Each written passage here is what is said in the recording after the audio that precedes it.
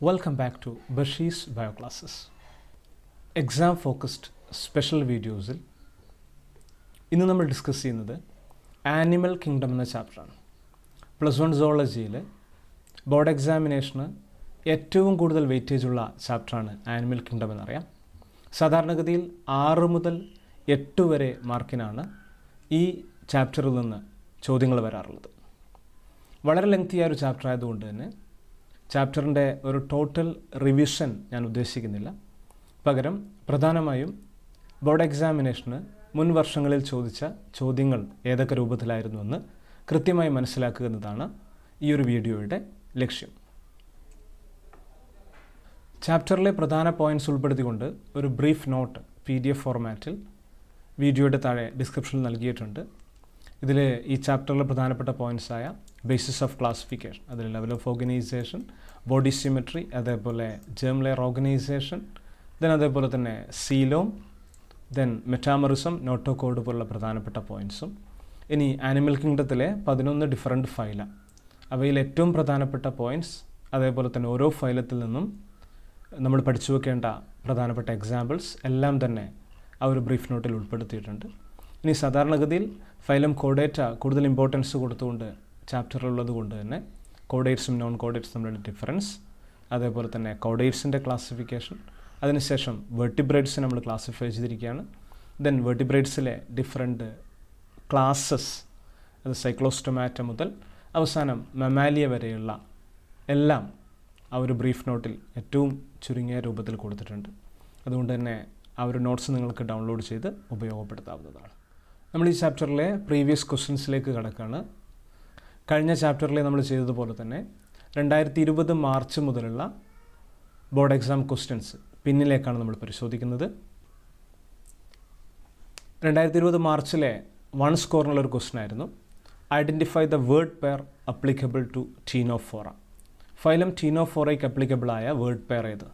Nephridia parapodia comb plates bioluminescence polyp metagenesis radula visceral hump. ഇതിൽ phylum ടീനോഫോറയെ നമുക്ക് തിരിച്ചറിയാൻ കഴിയുന്ന തരത്തിലുള്ള ഏറ്റവും പ്രധാനപ്പെട്ട രണ്ട് പോയിന്റ്സ് തന്നെയാണ് ഇവിടെ കൊടുത്തിരിക്കുന്നത്. പ്രസൻസ് ഓഫ് കോംപ്ലൈൻസും അതേപോലെ തന്നെ bioluminescence ability of living organisms to emit light പല ജീവജാലങ്ങളും ലൈറ്റ് എമിറ്റ് ചെയ്യാറുണ്ട്. ആ ഒരു കപ്പാസിറ്റിയാണ് നമ്മൾ ബയോലൂമിനസൻസ് എന്ന് പറയുന്നത്. ടീനോഫോസിന്റെ വളരെ പ്രധാനപ്പെട്ട ഒരു ഫീച്ചറാണിത് നമുക്കറിയാം. അതുകൊണ്ട് തന്നെ ഇതിന്റെ കറക്റ്റ് ആൻസർ കോംപ്ലൈറ്റ്സ് ബയോലൂമിനസെൻസ് എന്നതാണ്. നമുക്ക് അടുത്ത ക്വസ്റ്റിലേക്ക് കടക്കാം.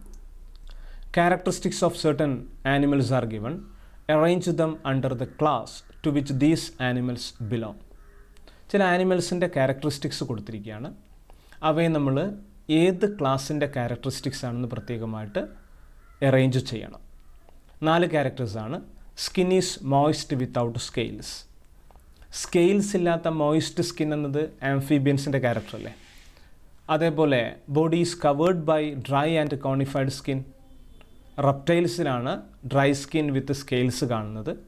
Shed the scales as skin cast skin പൊഴിച്ച് കളയാൻ കഴിയുന്ന അല്ലെങ്കിൽ പടം പൊഴിക്കുക എന്ന് പറയാറുണ്ട്. ഈ ഒരു പ്രത്യേകതയും റപ്റ്റൈൽസിലാണെന്നറിയാം can live in aquatic as well as terrestrial habitat കരയിലും വെള്ളത്തിലും ജീവിക്കാൻ കഴിയുന്നത് ആംഫീബിയൻസിനാണെന്നറിയാം. അപ്പോൾ ചുരുക്കി പറഞ്ഞാൽ ആംഫീബിയൻസിന്റെയും റെപ്റ്റൈൽസിന്റെയും രണ്ട് വീതം ക്യാരക്ടേഴ്സാണ് ഇവിടെ ഉൾപ്പെടുത്തിയിരിക്കുന്നത്. അതുകൊണ്ട് കറക്റ്റ് ആൻസർ വരുന്നത് ഒന്നാമത്തെയും നാലാമത്തെയും ക്യാരക്ടേഴ്സ് ആംഫീബിയൻസിന്റെതും രണ്ടും മൂന്നും ക്യാരക്ടേഴ്സ് റെപ്റ്റൈൽസിന്റെതാണെന്നും മനസ്സിലാക്കാം. അടുത്ത ക്വസ്റ്റിലേക്ക് വരുന്നു നമ്മൾ മൂന്ന് സ്കോറിന് ചോദിച്ചിരിക്കുകയാണ് observe the figures A B and C എന്നിങ്ങനെ മൂന്ന് ഫിഗേഴ്സ് നൽകിയിരിക്കുകയാണ്. ഇതിലെ ക്വസ്റ്റ്യൻ ആദ്യ ഭാഗത്ത് identify the organisms A B and C എന്നാണ്. Name the phylum to which each of them belong ഓരോന്നും ഏത് ഫൈലത്തിൽ ഉൾപ്പെടുന്നതാണെന്നും നമ്മൾ പറയേണ്ടതുണ്ട്. ഇവിടെ നമുക്ക് ആൻസർ ലഭിക്കുന്നത് എ ബലാനോഗ്ലോസസ് ആണ്. ബി നീറീസ് ആണ്. സി ലിവർ ഫ്ലൂക്ക് അല്ലെങ്കിൽ ഫാഷിയോളയാണ് ഇവ ഉൾപ്പെടുന്ന ഫൈലം ബലാനോഗ്ലോസസ് ഹെമിക്കോഡേറ്റയിലും നീറീസ് അനലിഡയിലും ലിവർ ഫ്ലൂക്ക് പ്ലാറ്റി ഹെൽമിന്തസിലുമാണെന്ന് അറിയാം. ഇനി നമുക്ക് രണ്ടായിരത്തി പത്തൊൻപത് ജൂലൈയിലെ ക്വസ്റ്റിലേക്ക് നോക്കാം. Unlike bony fishes cartilages fishes swim constantly to avoid sinking due to the അതായത് ബോണി ഫിഷസിനെ അപേക്ഷിച്ച് കാട്ട്ലേജിനസ് ഫിഷസ് അവ സ്ഥിരമായി നീന്തിക്കൊണ്ടിരിക്കുന്നു. കാരണം അല്ലെങ്കിൽ അവ താഴ്ന്നു പോകും. ഇതിന്റെ റീസൺ എന്താണ്? പ്രസൻസ് ഓഫ് ഫാരഞ്ചൽ ഗിൽസിസ് ആണോ? പ്രസൻസ് ഓഫ് എയർ ബ്ലാഡർ ആണോ? ആബ്സെൻസ് ഓഫ് ഫാരഞ്ചൽ ഗിൽസിസ് ആണോ? ഇനി അല്ലെങ്കിൽ ആബ്സെൻസ് ഓഫ് എയർ ബ്ലാഡർ ആണോ? നമുക്കറിയാം ബോണി ഫിഷസിനെ പോലെ കാട്ട്ലേജിനസ് ഫിഷസിന് എയർ ബ്ലാഡർ ഇല്ല. അതുകൊണ്ട് കറക്റ്റ് ആൻസർ വരുന്നത് ആബ്സെൻസ് ഓഫ് എയർ ബ്ലാഡർ ഇതേ വർഷം ചോദിച്ച മറ്റൊരു ചോദ്യം the followings are the organs of certain animals parapodia flame cells proboscis gland complex ഇതിൽ select the organs help in excretion വിസർജനത്തെ സഹായിക്കുന്ന അവയവങ്ങൾ ഏതൊക്കെയെന്ന് നമ്മൾ തിരഞ്ഞെടുക്കേണ്ടതുണ്ട്. Name the organism bearing these organs and rights its phylum നമ്മളായി എഴുതിയിരിക്കുന്ന വിസർജനത്തെ സഹായിക്കുന്ന അവയവങ്ങൾ അടങ്ങിയിരിക്കുന്ന ആനിമൽസ് അല്ലെങ്കിൽ ഓർഗാനിസംസ് ഏതാണെന്നും അവയുടെ ഫൈലവും നമ്മൾ നോട്ട് ചെയ്യേണ്ടതുണ്ട്. അപ്പോൾ നമുക്കറിയാം ഫ്ലെയിം സെൽസും പ്രബോസിസ് ഗ്ലാൻസുമാണ് ഇവിടെ തന്നിരിക്കുന്നതിൽ വിസർജന അവയവങ്ങളായിട്ട് പ്രവർത്തിക്കുന്നത്. ഫ്ലെയിം സെൽസ് എന്നത് പ്ലാറ്റിഹെൽമിതസിന്റെ വിസർജന അവയവമാണെന്നും പ്ലാറ്റിഹെൽമിതസിന് എക്സാമ്പിളായി നമുക്ക് ലിവർ ഫ്ലൂക്ക് എഴുതാമെന്നും അറിയാം. ഇനി പ്രബോസിസ് ഗ്ലാൻഡ് എന്നുള്ളത് ഹെമികോഡേറ്റയുടെ എക്സ്ക്രീറ്ററി ഓർഗനാണെന്നും അതിൽ എക്സാമ്പിളായി നമുക്ക് ബലാനോ ഗ്ലൗസസും എഴുതാം. ഇതേ വർഷം മറ്റൊരു ചോദ്യം വന്നിരിക്കുന്നത് കംപ്ലീറ്റ് ദ സ്കീമാറ്റിക് ഡയഗ്രാം ഇത് നമുക്കറിയാം. ആനിമൽസിന്റെ ബേസിസ് ഓഫ് ക്ലാസിഫിക്കേഷന് ശേഷം കാണാൻ കഴിയുന്ന ഒരു സ്കീമാറ്റിക് ഡയഗ്രമാണ് നമ്മൾ പഠിച്ചിരിക്കുന്ന ബേസിസ് ഓഫ് ക്ലാസിഫിക്കേഷനെ ഒരു ഫ്ലോ ചാർട്ട് പോലെ കൊടുത്തിരിക്കുന്നതാണ് ഈ ഒരു ഡയഗ്രാം എന്നറിയാം. ഇതിൽ ലെവൽ ഓഫ് ഓർഗനൈസേഷൻ വെച്ചുകൊണ്ടാണ് ആദ്യ ഭാഗം. അതിനുശേഷം സിമെട്രിയാണ് അതേപോലെ തന്നെ സീലോമിന്റെ പ്രസൻസിലാണ് പിന്നീട് കാര്യങ്ങൾ വരുന്നത്. അവസാനത്തിൽ നമുക്ക് ഇത്തരത്തിലുള്ള പ്രത്യേകതകൾ അടങ്ങിയിരിക്കുന്ന ഫൈലം ഏതൊക്കെയെന്ന് തിരിച്ചറിയാനും പറ്റും. അപ്പോൾ അതുകൊണ്ട് തന്നെ ഇവിടെ എ എന്ന് മാർക്ക് ചെയ്തിരിക്കുന്നത് ടിഷ്യൂ ഓർഗൻ ഓർ ഓർഗൻ സിസ്റ്റമാണ് കാരണം ലെവൽ ഓഫ് ഓർഗനൈസേഷനിൽ സെല്ലുലാർ ലെവൽ ഓഫ് ഓർഗനൈസേഷൻ കഴിഞ്ഞാൽ പിന്നീട് ടിഷ്യൂ ഓർഗൻ ഓർ ഓർഗൻ സിസ്റ്റമാണെന്ന് അറിയാം. ഇനി രണ്ടാമത് റേഡിയൽ സിമെട്രി പോലെ തന്നെ പ്രധാനമാണെന്ത്? ബൈലാറ്ററൽ സിമെട്രി അതുകൊണ്ട് തന്നെ ബി എന്നത് ബൈലാറ്ററൽ സിമെട്രിയെ സൂചിപ്പിക്കുന്നു. ശേഷം നമുക്ക് സീലോമിന്റെ കാര്യത്തിലേക്ക് വരാം. വിത്തൗട്ട് സീലോമുണ്ട് അതേപോലെ തന്നെ സ്യൂഡോ സീലോമാണ് സി എന്നത്. ഇനി വിത്ത് ട്രൂ സീലോമാണ് അടുത്ത് കൊടുത്തിരിക്കുന്നത്. അതുകൊണ്ട് തന്നെ ഓപ്ഷൻ സി അല്ലെങ്കിൽ ഇവിടെ ബ്ലാങ്കായി വിട്ടിരിക്കുന്ന സി എന്ന ഭാഗത്ത് നമുക്ക് സ്യൂഡോ സീലോം എന്ന് എഴുതാം. ഇനി റേഡിയൽ സിമെട്രി കാണിക്കുന്ന സീലൻട്രേറ്റയെ നമ്മളിവിടെ പരിചയപ്പെടുത്തിയിട്ടുണ്ട്. മറ്റൊരു ഫൈലം എന്നത് ടീനോഫോറയാണ് അതുകൊണ്ട് ഇവിടെ ബ്ലാങ്ക് ഡി ടീനോഫോറയാണെന്ന് പറയാം.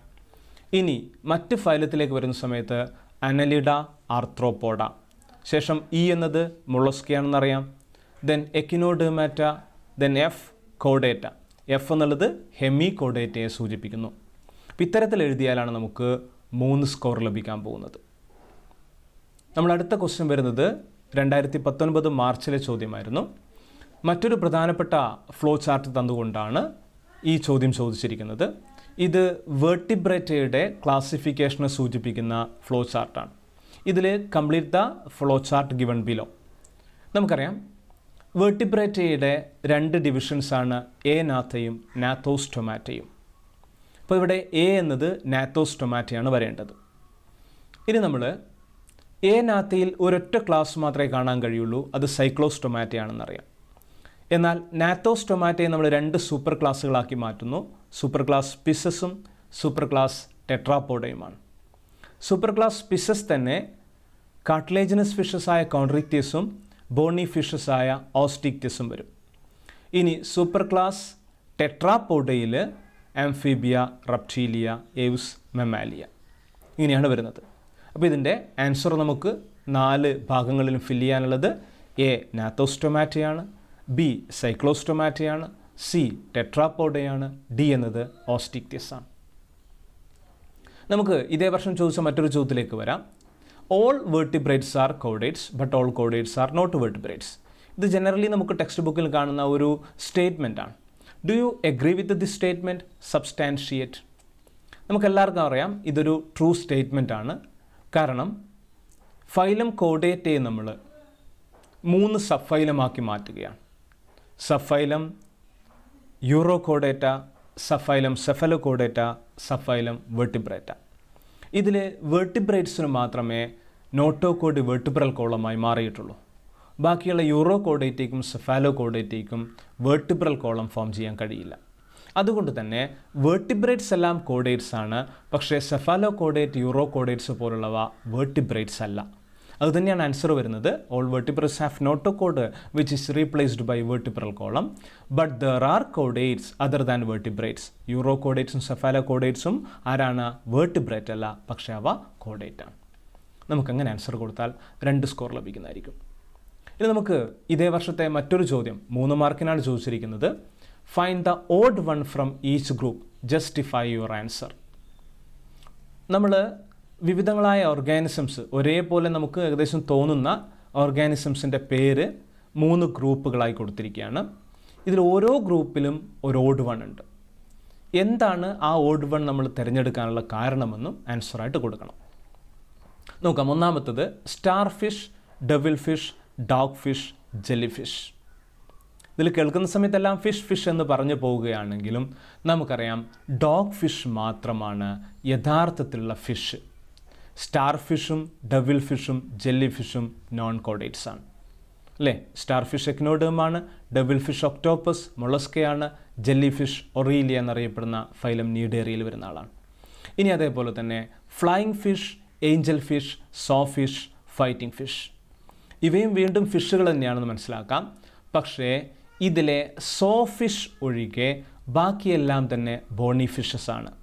ഫ്ലൈയിങ് ഫിഷും ഏഞ്ചൽ ഫിഷും ഫൈറ്റിംഗ് ഫിഷും ബോണി ഫിഷാണ് സോ ഫിഷ് എന്നത് കാട്ട്ലേജിനസ് ഫിഷായ കോൺട്രിക്റ്റിയസ് ആണ്.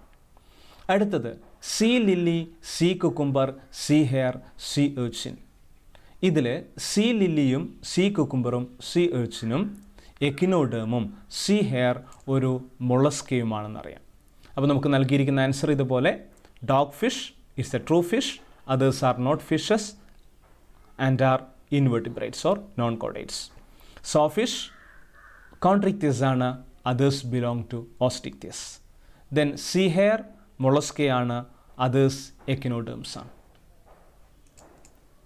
നമ്മൾ അടുത്ത് വരാൻ പോകുന്നത് രണ്ടായിരത്തി പത്തൊൻപതിൽ തന്നെ ചോദിച്ച മറ്റു ക്വസ്റ്റിലേക്കാണ്.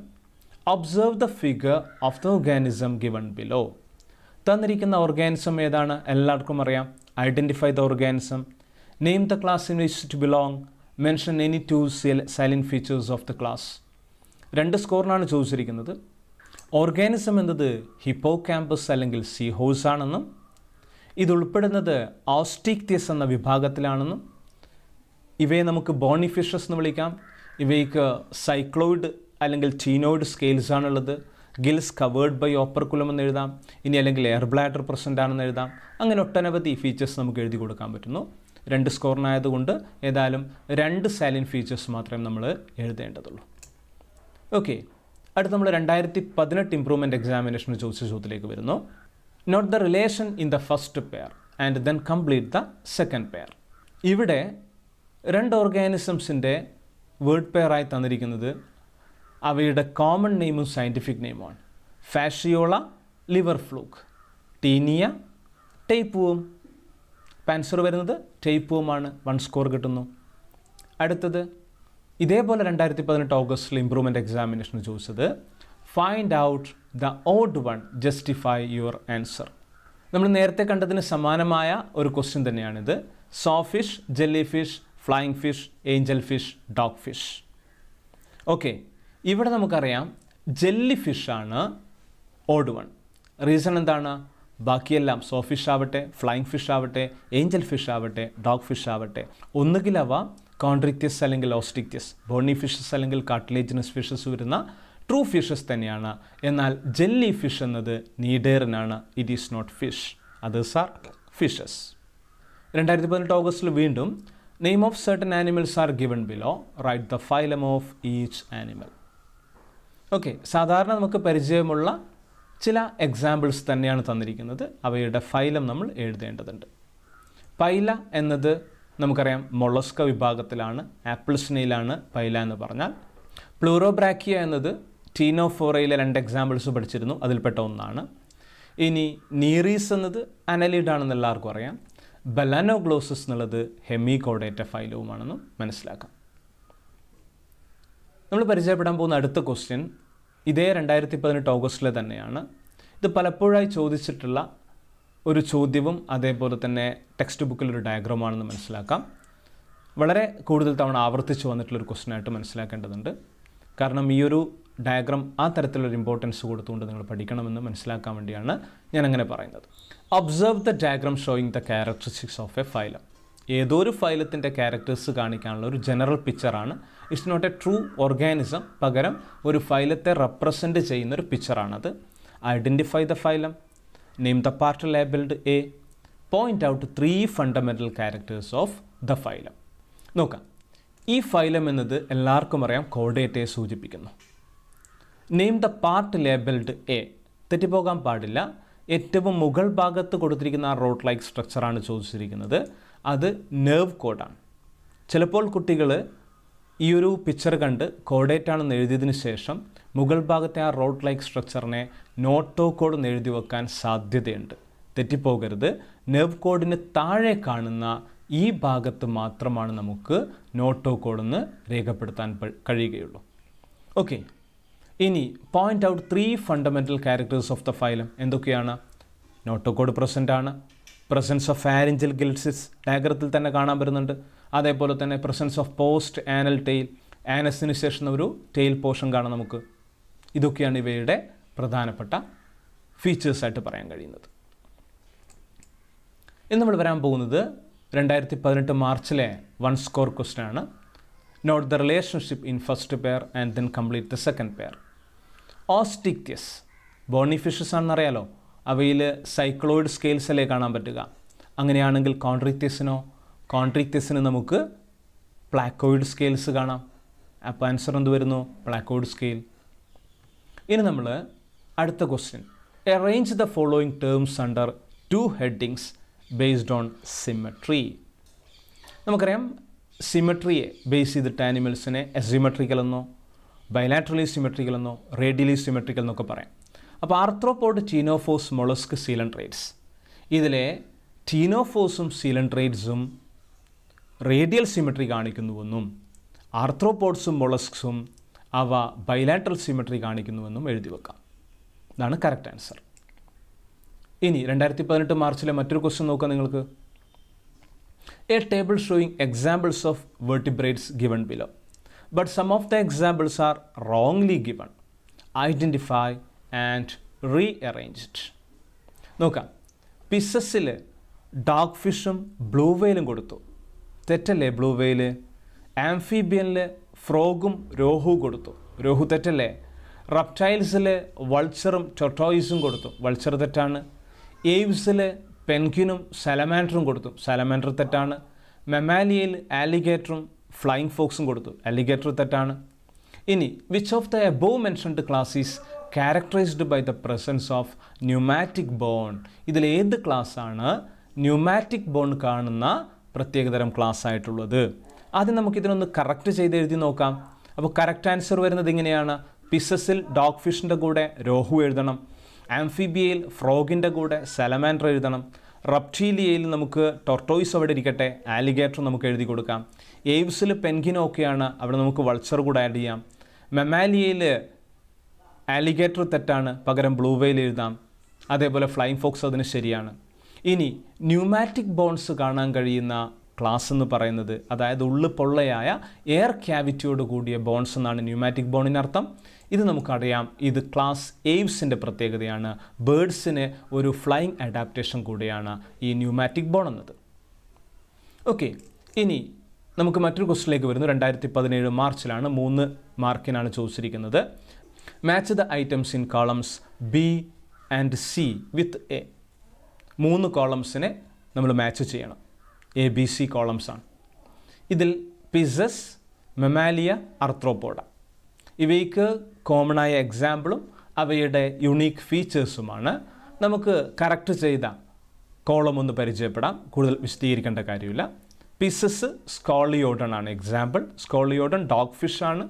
അല്ലേ? ഷാർക്കാണ് കോമൺ ഷാർക്കാണ് പ്രസൻസ് ഓഫ് ടു ചേമ്പേർഡ് ഹാർട്ടാണ് അതിന്റെ യുണീക്ക് ഫീച്ചർ ഇനി മെമാലിയ അവിടെ നമുക്ക് ഫെലിസ് ആണ് അല്ലെങ്കിൽ കാറ്റ് ആണ് കൊടുക്കാൻ പറ്റുന്നത് പ്രസൻസ് ഓഫ് ഹെയർ അവയ്ക്ക് രോമാവൃതമായ ആണെന്നതാണ് പ്രത്യേകത. ആർത്രോപോഡയിൽ ഈഡിസ് ഒരു മോസ്കിറ്റോ ആണല്ലോ അല്ലേ? ഓപ്പൺ സർക്കുലേറ്ററി സിസ്റ്റം ഉണ്ട് എന്നതാണ് അവയുടെ യുണീക്ക് ഫീച്ചറായി നമുക്ക് എഴുതാൻ പറ്റുന്നത്. ഇതാണ് എ ബി സി മാച്ചിങ് ഇനി നമുക്ക് അടുത്ത ക്വസ്റ്റ്യൻ രണ്ടായിരത്തി പതിനേഴ് മാർച്ചിലതാണ്. Features of different phyla or class are given below identify the phylum class and give example of each group മൂന്ന് സ്കോറിന് ചോദിച്ചിരിക്കുകയാണ്. അപ്പോൾ നമ്മൾ ആദ്യം എന്ത് ചെയ്യണം? ആ ഫീച്ചർ മനസ്സിലാക്കിയിട്ട് ഏത് ഫൈലത്തെ അല്ലെങ്കിൽ ക്ലാസ്സിനെ സൂചിപ്പിക്കുന്നുവെന്നും അവയ്ക്ക് അനുയോജ്യമായ എക്സാമ്പിളും കണ്ടെത്തേണ്ടതുണ്ട്. Body is covered by scales heart is three or four chambered they respire through lungs ഇതാരെക്കുറിച്ച് പറയുന്നതാണ്? തീർച്ചയായിട്ടും ഇതാരാണ്? ക്ലാസ് റപ്റ്റീലിയെക്കുറിച്ച് പറയുന്നു. കലോട്ടസും ക്രൊക്കഡൈലും ഇതിന്റെ എക്സാമ്പിളായിട്ട് കൊടുക്കാം. ഇനി they are exclusively marine commonly called sea walnut and show bioluminescence ഞാൻ നേരത്തെ സൂചിപ്പിച്ചു ബയോലൂമിനസെൻസ് എന്ന് കണ്ടാൽ തന്നെ ടീനോഫോറയാണെന്ന് പറയണം. അതിൽ എക്സാമ്പിളായിട്ട് നമുക്ക് പ്ലൂറോ ബ്രാക്കിയ കൊടുക്കാം.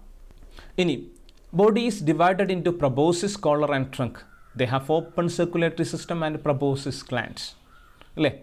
ഏതാണ് ഫൈലം? ഫൈലം ഹെമികോഡേറ്റയാണ് എക്സാമ്പിൾ ബലാനോഗ്ലോസസ് ആണ് ഇനി നമുക്ക് രണ്ടായിരത്തി പതിനേഴ് മാർച്ചിലെ മറ്റൊരു ക്വസ്റ്റ്യൻ വൺ സ്കോറിനുള്ള ക്വസ്റ്റ്യൻ ആണ്. Among the different phyla of animals dash have pseudocoelom pseudocoelom ഉള്ള ഒരൊറ്റ ഫൈലം മാത്രമേ നമ്മൾ പഠിച്ചിട്ടുള്ളൂ? അത് ഫൈലം ആരാണ്? ഫൈലം ആഷൽമിന്തസ് ആണ് ഇതേ വർഷം തന്നെ വീണ്ടും ചോദിച്ചിരിക്കുന്നത് categorise the following animals under radial symmetry and bilateral symmetry സിമെട്രിയെ base ചെയ്തിട്ട് ഫൈസാലിയ ടേപ്പും ഫാഷിയുള്ള ആറ്റംസിയ അപ്പോൾ ഇവ ഏത് ഫൈലത്തിൽ വരുന്ന ഓർഗാനിസംസ് ആണെന്ന് മനസ്സിലാക്കിയാൽ നമുക്ക് എളുപ്പത്തിൽ അവയെ നമുക്ക് ക്ലാസിഫൈ ചെയ്യാൻ പറ്റും. ഫൈസാലിയും അതേപോലെ തന്നെ ആഡംസിയയും നീഡേറിയ അല്ലെങ്കിൽ സീലൻഡ്രേറ്റയാണല്ലോ റേഡിയൽ സിമെട്രി കാണിക്കുന്നു. ടേപ്പൂമും ഫാഷിയോളയും അവ പ്ലാറ്റിഹെൽമിന്തസിൽ വരുന്ന ഓർഗാനിസം ആണല്ലോ. അതുകൊണ്ട് തന്നെ അവ ബൈലാറ്റർ സിമെട്രി കാണിക്കുന്നു. അപ്പോൾ ആൻസർ നമുക്ക് എങ്ങനെ വരുന്നു? Radial symmetry physalia and adamsia then bilateral symmetry tapeworm and fasciola രണ്ടായിരത്തി പതിനേഴ് മാർച്ചിലെ മറ്റൊരു ചോദ്യം. Prepare two matching pairs from the given list of animals and excretory organs രണ്ട് മാച്ചിങ് പെയർ ഉണ്ടാക്കിയാൽ മതി. തന്നിരിക്കുന്ന ആനിമൽസിനെയും അതേപോലെ തന്നെ അടുത്ത കോളത്തിലുള്ള എക്സ്ക്രീറ്ററി ഓർഗൻസും ഉപയോഗിച്ചിട്ട്. എങ്ങനെയാണ് നമുക്ക് ആൻസർ കാണാൻ പറ്റുന്നത്? നോക്കാം നമുക്ക് ഇവിടെ കിട്ടിയിരിക്കുന്ന പെയർ എന്നുള്ളത് പ്രോൺ ആന്റിനൽ ഗ്ലാൻസ് ആണ്. ഏർത്ത് വേം നെഫ്രീഡിയാണ് ഇതാണ് നമുക്ക് ഉണ്ടാക്കാൻ കഴിയുന്ന രണ്ട് മാച്ചിങ് പെയേഴ്സ് ഇനി അടുത്ത രണ്ടായിരത്തി പതിനാറിലേക്ക് പോകുന്നു. The characteristic feature of an invertebrate is given the phylum includes comb jellies also called walnuts they are noted for their bioluminescence comb plates identify the phylum ആവർത്തിച്ചു വന്നത് കണ്ടില്ലേ? ഇത് നമുക്കറിയാവുന്ന പോലെ തന്നെ ടീനോഫോറയെ സൂചിപ്പിക്കുന്ന ക്യാരക്ടേഴ്സാണ് ഇനി fill in the blanks with appropriate word osteichthyes bony fishes ആണ്. സൈക്ലോയിഡ് സ്കെയിൽസ് ആണ് അവയ്ക്കുള്ളത്. കോൺട്രിക്തിയസ് കാട്ട്ലേജിനസ് ഫിഷസ് ആണ്. അവയുടെ സ്കെയിൽസ് എന്ന് പറയുന്നത് പ്ലാക്കോയിഡ് സ്കെയിൽസ് ആണ്. ഇനി രണ്ടായിരത്തി പതിനാറ് മാർച്ചിലെ മറ്റൊരു question name the phyla in which the following cells or structures or organs are present ഏത് ഫൈലത്തിലാണ് താഴെ കൊടുത്തിരിക്കുന്ന സെൽസോ അല്ലെങ്കിൽ സ്ട്രക്ചേഴ്സോ അല്ലെങ്കിൽ അവയവങ്ങളോ പ്രസന്റ് ആയിരിക്കുന്നത്? റാഡ്യൂള റാഡ്യൂള എന്നത് മൊളസ്കയുടെ ഫീഡിംഗ് ഓർഗനാണ് അതൊരു പ്രത്യേകതരം ഫയർ ലൈക്ക് റാസ്പിംഗ് ഓർഗൻ എന്ന് ടെക്സ്റ്റ് പരിചയപ്പെടുന്നുണ്ട്. റാഡ്യൂള അത് ഉപയോഗിച്ചിട്ടാണ് ഫുഡ് ഐറ്റംസിനെ കട്ടിംഗ് നടത്താൻ പറ്റുന്നത്. നീഡോബ്ലാസ്റ്റ് എന്നുള്ളത് നമുക്കറിയാം അതാണ്. നീഡോബ്ലാസ്റ്റ് നീഡേറിയയിലെ പ്രത്യേകതയാണ്. നീഡേറിയ സ്റ്റിഞ്ചിങ് ക്യാപ്സ്യൂൾസ് അടങ്ങിയിരിക്കുന്ന പ്രത്യേകതരം സ്ട്രക്ചറാണ്.